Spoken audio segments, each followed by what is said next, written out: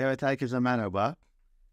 Ömrümüzü bir yıl uzatmak istesek, bunun için bir anahtar, bir ipucu versek, bunu kullanmak ister miydiniz? Neler verebilir, verebilirdiniz ömrümüzü bir yıl uzatmak için? Ya da şöyle sorayım, eğer ömrümüzü 5 yıl uzatacağımızı bilsek, bu 5 yıl için neler verirdik? 5 yıl ömrümüzün uzaması için bize bir sır verseler, acaba bu 5 yıl için neler yapabilirdik? Ya da sorumuzu biraz daha düzeltelim. Ömrümüzün 10 yıl uzayacağını bilsek bize bunun için bir sır verseler, bunun için bir anahtar verseler acaba bunun için neler verirdik? Bir düşünelim.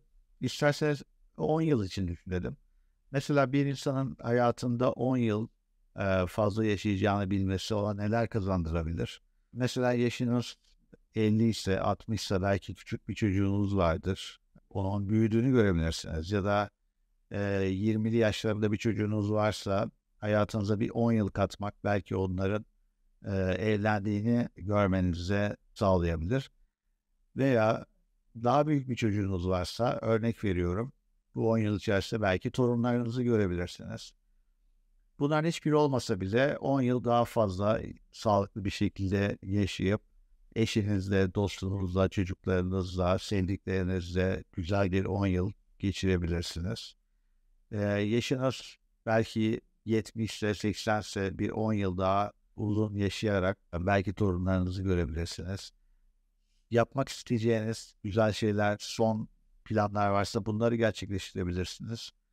Ee, emekliyseniz belki e, dünyayı gezebilirsiniz her ne olursa olsun sonuçta yaşamak güzel ve e, insanın e, hayatına e, katılan her yıl, her gün, her saat e, değerli. Kaldı ki meme kanserinde, meme kanserinin erken yakalanması Amerika'da yapılan bir çalışmaya göre insan hayatına tam 19 yıl ekstra süre katıyor. Yani erken evrede, orta evrede ya da ileri evrede olan hastalar çalışmaya dahil edilerek bu insanlara eğer erken tanı konulur ise meme kanseri olan kişiler şayet erken yakalanır ise bu insanların hayatlarında ne kadar hayat süreleri ne kadar uzuyor, hayatımıza ne kadar e, bir e, ekstra ömür katıyor erken tanı bunu araştırmışlar ve ortalama tabii ki ileri evrede bu daha az olabilir, erken evrede daha yüksek olabilir ama sonuçta ortalama bütün hastaları düşündüğümüz zaman ortalama insan ömrünün 19 yıl uzadığı her bir bireyin ortalama 19 yıl daha uzun yaşadığı bulunmuş. Bu gerçekten çok uzun bir süre ve gerçekten erken tarama yapmaya gerçekten yılda bir günümüzü hatta birkaç saatimizi ayırarak meme kontrolüne gitmeye değecek bir süre. Dolayısıyla bütün kadınlarımızdan e, yılın bir gününü ayırarak, belli bir zamanını ayırarak meme kontrolüne gitmelerini öneriyorum. Hatta önerimi şu şekilde yapıyorum. Genelde meme kontrolüne giden bayanların çoğu zaman hangi tarihte meme kontrolüne gittiklerini unuttuğu için ve gerçekten e, bu yıl gitmiş miydim, hangi ay gitmiştim, Haziran'da mı gitmiştim, Ocak'ta mı gitmiştim, bununla ilgili bir kafa karışıklığı olduğu için genel olarak önerim şöyle oluyor. Sizin e, sosyal imkanlarınıza göre mesela öğretmen olabilirsiniz, yaz tatilleriniz boş olabilir ya da memur olabilirsiniz ya da ev hanımı olabilirsiniz.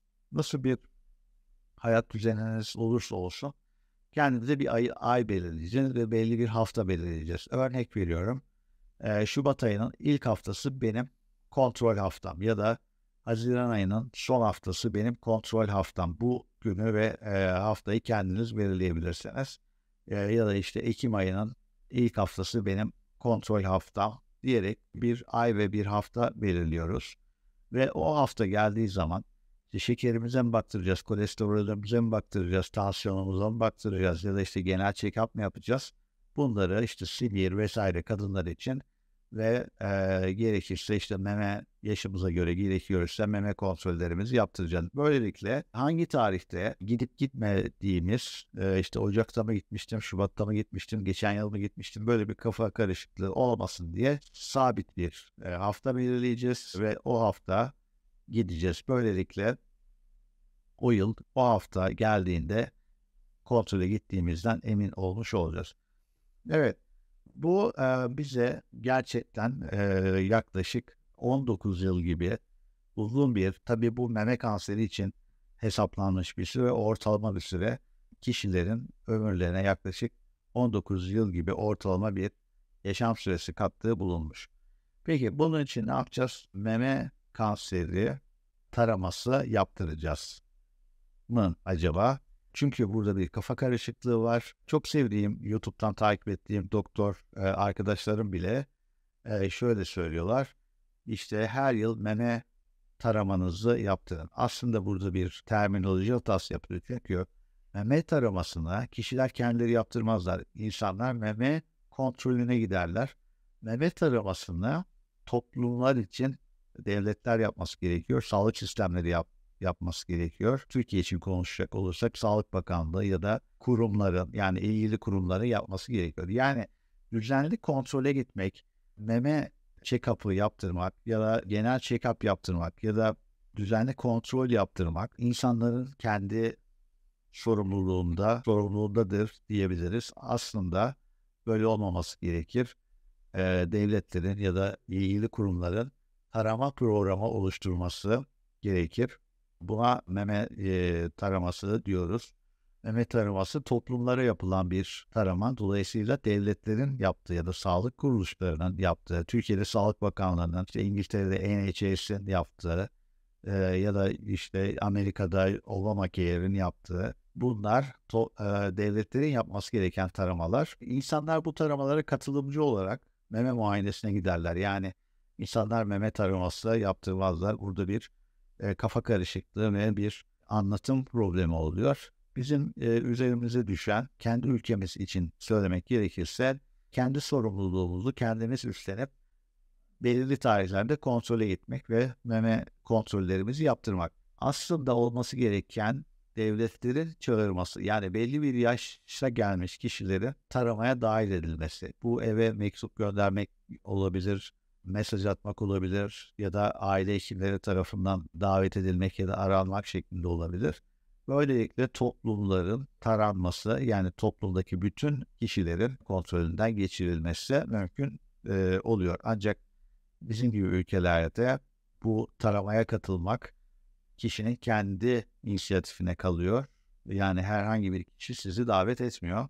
Dolayısıyla ben de yılın belli bir haftası ve belli bir günü kendinizi ayırarak bu tarama programına katılması gerektiğini söylüyorum. Evet bu e, 2017 Radyoloji Clinics of North America bizim çok sevdiğimiz e, radyoloji uzmanlarının yakından takip ettiği bir dergi. Burada çıkan bir yazıdan yola çıkarak size bazı bilgiler aktarmak istiyorum. Erken tanı yaptırmamızın şöyle bir önemi var. Çünkü biliyoruz ki birinci evrede yakaladığımız hastaların %99'unun hayatını kurtarabiliyoruz. Dolayısıyla çok erken dönemde meme kanserini yakalamanın çok önemli bir e, avantajı oluyor. Buradaki ekranda gördüğümüz grafikte yıllara göre kadınların meme kanserinden e, hayatlarını kaybetme oranları verilmiş. Gördüğünüz gibi 1975'lerden sonra aslında bir miktar düz e, olan grafik 1990'lardan sonra inişe geçmiş durumda. Yani 90'ların ortalarından sonra özellikle ölüm oranlarının azaldığını ve bu grafiğin aşağı doğru azalarak seyir gösterdiğini görüyoruz. Bu neden oluyor? Çünkü 80'li yılların sonları ve 90'lı yılların başlarından itibaren artık kadınlarda meme kanseri taraması yani mamografi ile meme kanseri taraması başlıyor ve toplumlar artık meme kanseri taraması yaptığı için mamografinin kullanıma girmesiyle birlikte buradaki ölüm oranlarında azalma görüyoruz. Peki bu ölüm oranlarında nasıl bir azalma oluyor? Bu özet yazıyı sizin için e, kısaca çevireceğim. Eğer bir hastayı erken yakalar isek ölüm oranlarında %20 ila 40 e, oranı da azaltabiliyoruz. Sadece mamografi kullanarak buradaki oran sadece mamografi kullanılarak yapılan ölüm oranında azalmayı gösteriyor. Ancak bunun yanına mesela bizim ülkemizde olduğu gibi ultrason gibi, MR gibi tetkikleri de eklersek bu meme kanserinden hayat kaybetme riskimizi oldukça azaltmış oluyoruz. Bu e, meme taramasının nasıl yapılacağı, hangi yaşlarda nasıl yapılacağıyla ilgili birlikte bir kafa karışıklığı var. Birazdan bahsedeceğim. Ancak 40'lı yaştan itibaren 84 yaşına kadar tarama yapılan kişilerdeki ölüm oranlarının bir kefeye koyduğumuzda ve 50 yaşından sonra yapılan taramaları öbür kefeye koyduğumuzda 40 yaşından sonra yapılan taramaların daha başarılı olduğu ölüm oranlarını daha da azalttığı görülmüş. Yani bunu 50'li yaşlara bırakmadan 40'lı yaşlarda taramaya başlamanın bu aradaki 10 yılı kaybetmemenin yani 50 değil 40'ta başlamanın ölüm oranlarında daha fazla azalttığı görülmüş. Bu e, makale ve genelde Amerika'da uygulanan radyoloji ağırlıklı toplulukların, e, radyoloji ağırlıklı bilimsel toplulukların uyguladığı tarama yöntemi mamografiye ek olarak ultrason veya MR gerektiğinde MR'ın eklenmesi. Yani sadece e, ultrason değil, e, ultrasonla birlikte mamografinin e, düzeltiyorum sadece mamografinin değil mamografiyle birlikte ultrasonun mamografiyle birlikte gerektiğinde MR'ın da yapılması öneriliyor. Özellikle radyoloji ağırlıklı bilimsel topluluklar bunu öneriyor. Bir de yüksek riskli grubumuz var. Onu birazdan bahsedeceğim. Bir e, kadının yüksek riskli grupta olması için onların hayat boyu risk oranının %20'nin üzerinde olması gerekiyor. Yani yoldan geçen herhangi bir kadına yüksek risk dememiz için o kişinin meme kanseri riskinin %20'nin üzerinde olması gerekiyor. Bunu bir önceki videoda anlatmıştım. Her kadının kadın olmasından kaynaklanan bir risk faktörü vardır. E, hayat boyu risk e, faktörü vardır. Daha doğrusu hayat boyu bir riski vardır. Bu da yaklaşık %13.4'tür, 13.5'tir. Yani bir çocuk doğduğunda eğer e, o çocuk kız çocuğuysa onun hayat boyu meme kanseri riski %13'tür. Dolayısıyla bu normal risktir. Yani kadın olmaktan kaynaklanan risktir. Biz bir kişiye yüksek riskli dememiz için o kişinin %20'nin üzerinde risk e, taşıyor olması gerekir. Yani %13 yetmiyor. %14, 15, 16 yetmiyor. %20'nin üzerindeyseniz ancak o kişiye yüksek riskli diyoruz. Bu da nedir? Genetik mutasyondur, aile öyküsüdür ya da daha önce meme bölgesine ışın almasıdır vesaire vesaire. Bunları birazdan bahsedeceğim. Ancak yüksek riskli olan grubun da belirlenmesi önemli. Çünkü onların yani riski yüksek olan kişilerin birazdan bahsedeceğim gibi bu taramalara yani bu kontrollere daha erken başlaması tarama programlarına daha erken yaşta katılmaları gerekiyor.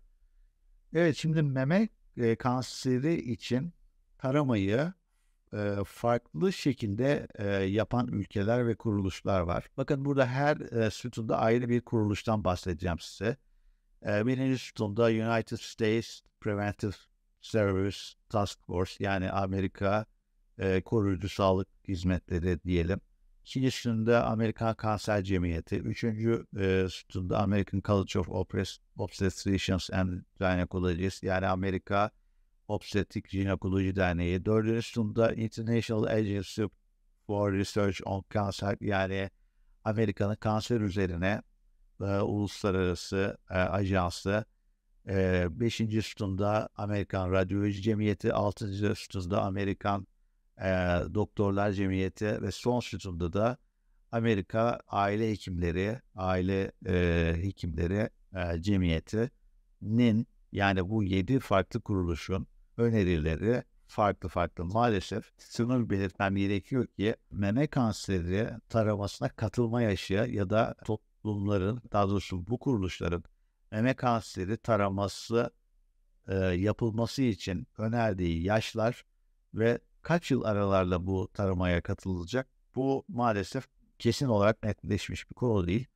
E, sadece bu e, tablo üzerinde bilgi verdiğim bir videomuz var. O videoyu da isterseniz izleyebilirsiniz. Bu tablonun ikinci kısmında da yine özellikle memesi yoğun olan kadınların yani belki duymuşsunuz bazı kadınların memeleri çok yoğundur. Bu yoğun memeli süt kanalları çok yoğun olan kadınlar içinde ayrı bir öneride bulunuluyor. Bu tabloyu Türkçeleştirdim. Size de e, göstermek istiyorum. İsterseniz bu tabloyu, videoyu burada durdurarak kendiniz bakabilirsiniz. Ama herhangi bir e, sütunu alalım. Mesela ilk sütunu alalım. United States Preventive Service Task Force'a bakalım. Ee, ne diyor? İlk sütuna bakalım. 40-49 yaş grubunda mamografiyi kişiye bağlı risk varsa 2 yılda bir yapılabilir. 50'den sonra 50-74 yaş grubunda yine 2 yılda bir yapılması lazım. 75 yaş üzerinde e, herhangi bir kanıt yok yapılması da olur ve yoğun meme süt kanalları yoğun kadınlarda da ek tetkik yapılmasına herhangi bir gerek yok. Bununla ilgili bir bilimsel kanıt yok diyor birinci sütundaki kuruluş. Bizim Türkiye'de de kullandığımız American College of Radiology yani beşinci sütuna bakalım. O ne diyor? 40-49 yaş grubunda yılda bir mamografi yap.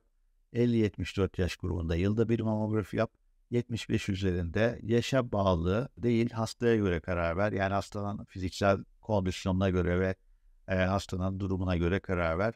Ve yoğun memeli kadınlarda ne yap? Mamografi ek olarak MR yap veya ultrason yap diyor. Gördüğünüz gibi ikisi de Amerika'daki kuruluş. İkisinin de önerileri birbirinden tamamen farklı. Dolayısıyla aslında meme taramasına hangi yaşta katılacağız, kaç yılda bir yaptıracağız bununla ilgili net bir konsensus yok. Ee, bu arada bu kuruluşların hepsi oldukça saygın Amerika'da sözü dinlenen kuruluşlar ama buna rağmen size söylediğim gibi kendi aralarında bağlı çelişkiler var meme kanseri taramasına başlama yaşıyla ilgili olarak. Biz buradaki sütunu ben işaretledim. Neyi e, takip ediyoruz? Türkiye'ye genel olarak American College of Radiology yani Amerika Radyoloji Cemiyeti'nin e, önerileri gibi davranıyor. O da nedir? 40 yaşından itibaren 75 e, yaşa kadar yılda bir mamografi yapıyoruz. Yani yaklaşık 35 yıl boyunca her yıl mamografi yapıyoruz. Yoğun memeli kadınlara ultrason veya MR ekliyoruz. Hatta ve hatta biraz daha ileri götürüyoruz. Biz ultrasonu mamografiyle beraber yapıyoruz. Yani 40 yaşından itibaren mamografiyi kadınlarımıza ultrasonla birlikte e, yapıyoruz. Peki şöyle bakalım hangi e, hastalar riskli hastalardır bundan da kısaca bahsedelim. Riskler nelerdir? Önce ona bakalım. İleri yaşlı olmak, kadın olmak, ışın tedavisi, spor yapmamak, ailede kanser örgüsü olması, kötü beslenme, alkol, erken adet görme, fazla kilo, hormon tedavisi, geç menopoza girmek, genetik mutasyonlar bunların hepsi risk faktörüdür meme kanseri için. Ancak bunlardan hangisi çok önemlidir, hangisi çok önemli değildir. Yani bu da önemli. Sonuçta evet e, bunlar risk faktörü ama e, yüksek risk taşıyan hastalar bunlardan hangisine sahip olanlar? E, onda da şöyle bir bakacak olursak e, neler yüksek riskli olmamıza sebep olmuyor ona bakalım. Burada gördüğünüz gibi poru siliyoruz, ileri yaşa siliyoruz. Başka ne istedim? Alkolü siliyoruz. Kötü beslenmeyi ve aşırı kiloyu siliyoruz. Başka ne silelim? Evet kötü beslenmeyi de sildik. Ve de hormon tedavisi. Hormon tedavisini de siliyoruz. Ama geri kalan şu ekranda gördüğümüz dışın ailede kanser örgüsü, erken adet görme, geçme yapılı girme, genetik mutasyonlar bunlar gerçekten yüksek riskli hastalar grubunda oluyor. Eğer bunlar varsa yüksek riskli oluyoruz. Yüksek riski hastayı toparlayacak olursak ya kimler yüksek risklidir? Ailede genetik mutasyon olacak. Hem kişide olabilir hem çok yakın meme kanseri olan annesinde mesela mutasyon olabilir. Hangi mutasyonlar? BRCA1 ve BRCA2 mutasyonu ailesinde bulunan kişiler. Aile öyküsü bulunanlar, tabii ki aile önemli. Şöyle düşünün, anneniz meme kanseri, kız kardeşiniz meme kanseri, teyzeniz meme kanseri. Elbette aile öyküsü varsa bu hastalarda çok dikkatli olmamız e, bu kişilerde gerekiyor. 30 yaş altında göz bölgesinde ışın tedavisi almış olanlar. E, bu ne demek oluyor? Meme bölgesine, göğüs bölgesine herhangi bir nedenle ışın aldığı isek bu hastalarda yine bu kişiler de yine yüksek risk grubuna giriyor. Ancak burada bahsedilen şey tomografi çektirmek, röntgen çektirmek gibi şeyler değil. Çünkü bunlar ışın tedavileri değil. Bunlar tetkik grubuna giriyor. Asıl burada bahsedilen şey 30 yaş altında meme bölgesine radyasyon tedavisi uygulanması. İşte daha önce örnek veriyorum lösemi olan, daha önce lenfoma olan hastaların e, ya da daha önce akciğer kanseri olan hastaların göğüs bölgelerine ışın almış olması önemli. Özellikle 30 yaş altında almış olması önemli. Daha önce meme kanseri olanlar yani 5 yıl önce 10 yıl önce meme kanseri geçirdiyse veya veya meme kanseri başlangıcı geçirdiyse bu kişiler yine yüksek risk grubunda oluyor. Ee, daha önceki biyopsilerinde bir, bir takım atipik bulguları olanlar. Bunu da şöyle açalım. Mesela biz diyelim ki 3 yıl önce, 5 yıl önce meme kanseri geçirmedik ama bir nedenle mememizde bir şey çıktı ve bir e, biyopsi yaptırdık. Bu biyopsi sonucunda her ne kadar meme kanseri yazmasa da işte 5 yıl önce, 10 yıl önce olduğumuz biyopside burada bir atipik bulgu varsa yani nasıl söyleyelim şüpheli bir durum varsa her ne kadar meme kanseri olmasa bile e, çok hoşlanmadığımız böyle atipik bulgular görüldüyse patoloji raporunda yine bu kişilerde e, risk altında oluyorlar.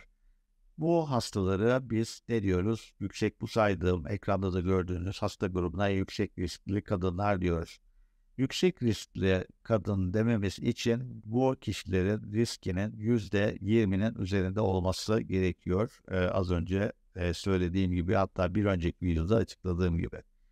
Peki biz risk faktörlerimizi hesaplayabilir miyiz? Evet hesaplayabiliyoruz. Bununla ilgili elimizde programlar var. İşte GL model gibi. Hasta bize geliyor. Hastayı dinliyoruz. E, hormon kullandı mı? Kaç yaşında adet gördü? Kaç yaşında menopoza girdi?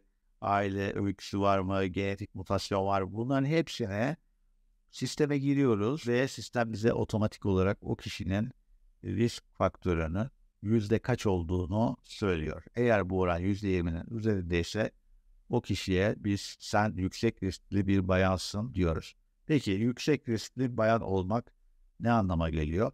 Size göstermiştim. İşte 40 yaşından itibaren her yıl mamografi yaptıracağız. Türkiye'de beraberinde ultrason yapıyoruz vesaire vesaire. Eğer yüksek risk grubundaysak yani biz yüksek riskli bir bayan isek ne yapmamız gerekiyor? Bu tahlillerimizi, bu aramaya katılımımızı diyelim ya da işte kontrollerimizi 5 yıl ila 10 yıl öncesinden başlamak gerekiyor. Yani 40 yaşında başlamayacağız daha erken yaşlarda 30-35'li yaşlarda başlayacağız. Çünkü bizim riskimiz yüksek ise bizim meme kanseri olma ihtimaliniz yüksek ise e, biz bunu 40'a kadar beklemiyoruz.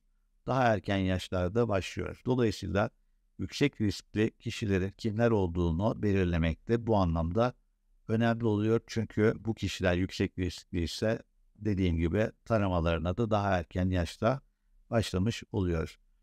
Evet bayanlar unutmayalım her bir meme kanserinin ortalama yaşam süresi eğer erken saptanırsa 19 yıl e, uzuyor ve bu gerçekten çok önemli bir e, fark. 3 ay, 5 ay, 10 ay bile çok önemli. İnsanlar geri gereğinde 3 gün bile, 5 gün bile, bir hafta bile, bir ay bile olsa e, yaşamak güzel bir şey ve 19 yıl gibi bir uzun bir süre ömrünüze ömür katıyor erken tanı, erken tedavi. Kaldı ki bir kez daha söylemek istiyorum.